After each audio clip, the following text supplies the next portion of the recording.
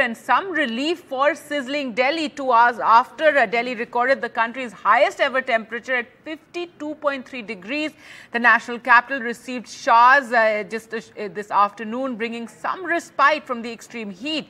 Delhi has been reeling under severe heatwave conditions over the past few days. The maximum temperature has been hovering around the 50 degrees Celsius mark as the minimum uh, has been inching closer uh, to 30 degrees and in fact just two hours ago in Mungeshpur in Delhi uh, at around 2.30 the temperature which is the highest ever of 52.3 degrees was recorded. Well, let's go back to Ishika for uh, more on this story now. Ishika, finally some relief. Everyone was suffering uh, from, you know, the, the high temperatures and especially uh, you being out there uh, on the field as, as you're reporting. But uh, after recording this maximum temperature of 52.3, now some relief for Delhi.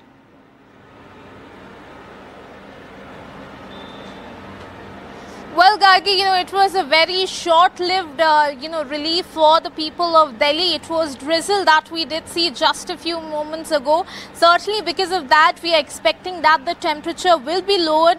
But certainly, you know, it will only be lowered a slight bit. So, uh, certainly, it was a very short-lived relief for the people of Delhi. But we are also expecting rainfall on 31st of May.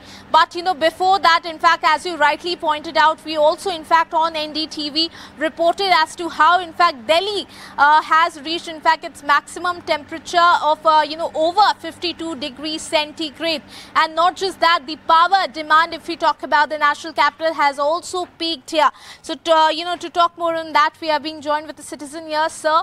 Uh, if we talk about the heat wave you know the conditions are still uh, you know the heat wave condition is still there. The alert has been issued. Even today if we talk about the power demand has gone up.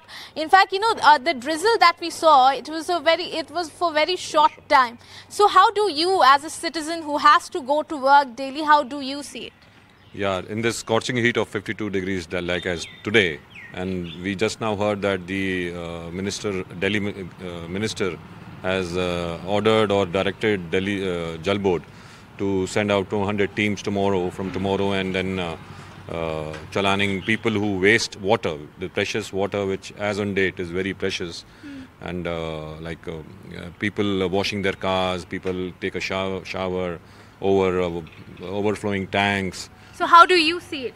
We see it a very, very positive step from the Delhi government, like not to waste water. We have already uh, circulated this message among the residents as a president of Civil Lines Welfare Association.